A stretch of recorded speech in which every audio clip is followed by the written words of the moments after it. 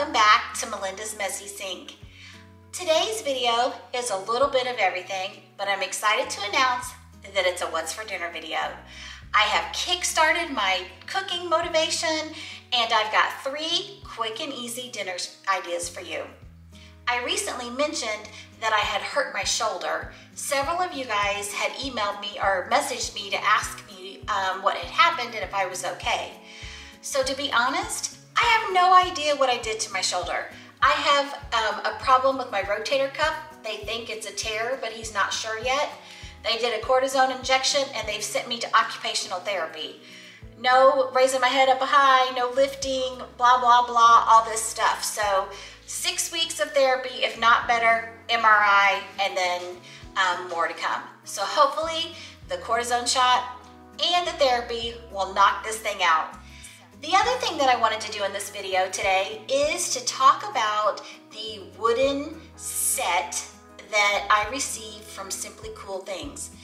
A few weeks ago, I had showed you the unboxing of the wooden spoon set.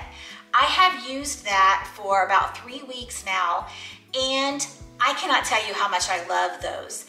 Um, I have washed them, I have cooked them, I have had them in high heat, I have I have done so much everyday life cooking um, with those wooden um, spoons and they have held up so great. Um, the price point that they are, they are very um, uh, economical set and they have held up to their potential. The stain is not coming um, off, it's not lightening. Um, they're not, the spoons are not cracking. I've added a clip of those wooden spoon sets just to remind you how super cute they were and that if you need some spoon sets, these are definitely ones to check out. So let's go ahead and let's get into our what's for dinners this week. Hey guys, tonight for dinner we are having um, ribeye steaks on the grill. These are two packages of the steaks that we got whenever we purchased our half a cow. So um, what we're doing is we're heating up the grill right now and I'm going to um, season these up. My husband likes his with Montreal steak seasoning and I like mine with Lawry's. Um, as I don't know if you saw my video or not about us buying half a cow. One of these steaks is thicker than the other one, so I'm going to um, get his that are thicker, all seasoned up and ready to go, and then I'll work on mine. All right, we're gonna start with my husband's steaks. I'm going to let these rest about 15, 20 minutes and let them come up, to, um, to get the chill off and come up to room temperature. So I'm just taking some meat tenderizer and I'm gonna put it on this top side. And then next, he likes Montreal steak seasoning. I'm going to add the steak seasoning on this side. And then I'm gonna let these rest. I'm gonna flip them over and do the exact same thing on the other side. And um, once they come up to temperature, we'll get them on the grill. Now for my steaks, I like to add pepper, Lawry seasoning salt. And then we'll do the same thing to the other side. All right guys, for sides tonight, we are just having baked potatoes. My husband said he didn't want any veggies or any salad, just a baked potato was fine with him. I went and got the stuff that was in our camper and I found this platter and it reminded me how excited I get whenever it's summertime and time to start barbecuing out. Today is the first day of spring that I'm filming this, so perfect day to get to cook on the grill.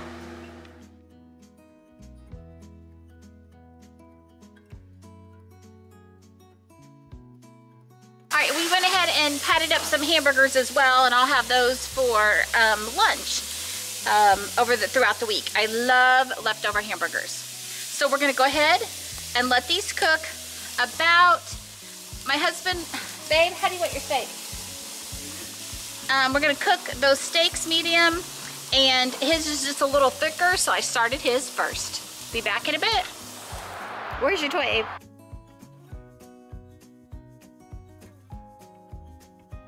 It might be right by your foot. All right, it's time to turn.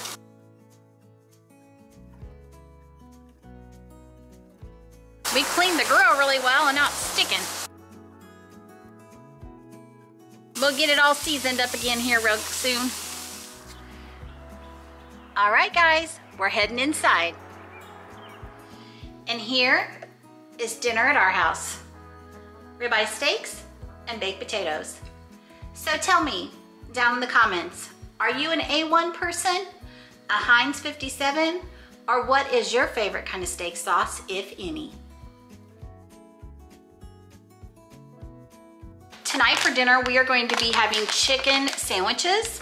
I just have these um, pre-made chicken patties that I'm gonna fry up. They're fully cooked and breaded. We just need to give warm them up. And then I'm gonna do some easy macaroni and cheese and a can of green beans. So we're gonna get started with putting the water on to boil for the uh, macaroni and cheese and we're heating up our grease to, shop, to fry our patties. I'll meet you over on my cooktop. Our water is boiling, so we're gonna go ahead and get our macaroni and cheese cooking. All right, our grease should be up to temperature, so we're gonna kind of stick the side of this one in here. Yep, we're good, okay. All right, we'll be back in just a little bit when it's time to, flip. I almost knocked you all over. We'll be back in just a little bit when it's time to flip. Hey guys, okay, so it's time for us to flip. Our macaroni and cheese has about a minute left and our green beans over here in this pot are uh, just, just got them turned on. We're gonna crank up the heat a little bit. Dinner is moving right along. While I've been getting everything set up, my husband sliced up some onions, lettuce, and tomato. We've got our bunny um, hamburger buns, and my husband's gonna use Miracle Whip. I'm gonna use Duke's and I just remembered that these baked beans are still in our refrigerator. I'm gonna go ahead and warm these up as well. Okay guys, our macaroni and cheese is done. We're gonna get this drained and get it mixed up and we're gonna meet you over on the counter. Green beans are almost done. Chicken's getting ready to come out of the skillet. Okay y'all, here is dinner at our house. Chicken sandwich, macaroni and cheese, baked beans, and my husband didn't want any green beans, um, but we also have that as well. Hey guys, tonight for dinner we are having biscuits and gravy.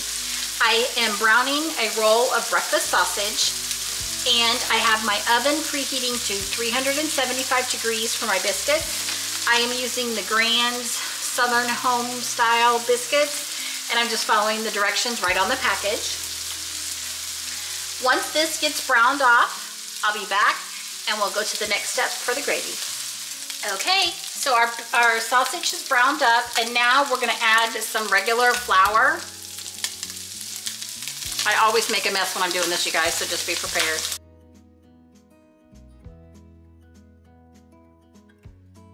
It is time to add our milk.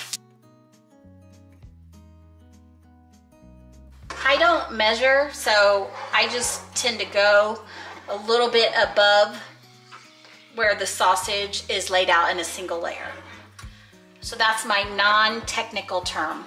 Once I start turning it, if I feel like I need a little bit more uh, milk, then I add some initially, which this time I do think I'm gonna add just a little bit more. Okay, that's good for sure. Gravy is something that you have to babysit. Um, it will burn on the bottom, the milk will burn. And it looks like nothing's happening, nothing's happening, nothing's happening, and all of a sudden it's done. I have been distracted and I've had gravy turn into mashed potatoes consistency. so, so I learned my lesson and I know I just gotta stay pretty close to it and keep a good eye on it you also are gonna wanna keep your heat up pretty high so that it brings your milk up to temperature and so that flour can start working to make the gravy. I like to add pepper to my gravy. And then I add um, some Lawry seasoning salt. Not a lot, just a little, but it gives it um, some good flavor in my opinion. I'm gonna keep sitting here babysitting and I'll be back whenever things start getting close. Okay guys, our gravy is up to a boil even when stirring. The center is really starting to thicken up. We're gonna do just like I said, to keep stirring it to make sure that the bottom does not burn because I still have it up on pretty high heat. Gravy is a personal preference of how thin or how thick you like it. My husband likes his a little thicker than I do, so when he makes it, I do thick gravy. When I make it, he does um, a more thinner gravy. I'm sure you guys have those kind of compromises at your house too. okay, let's see where we're at here. So it's sticking to the back of the spoon, so that definitely means we're getting thick. And from here on out is seriously your preference. I believe our gravy's done. Our biscuits will be done in just a little bit as well. And we'll meet you over on the counter and get this plated up. And here is dinner at our house. Sausage gravy and biscuits. That's a wrap on this week's video. Thank you all so much for following along. As always, we appreciate you so, so much and all of your support for my channel. Don't forget, Jesus loves you. I'll see you guys in the next one.